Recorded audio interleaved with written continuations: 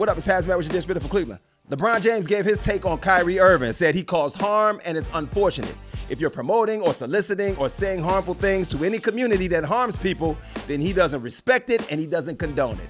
Neither do I, LeBron.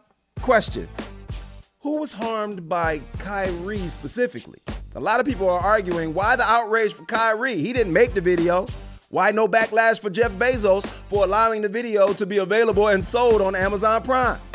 Jeff making money off the video. They taking Kyrie's money for sharing it. And I was a little disappointed at LeBron's take.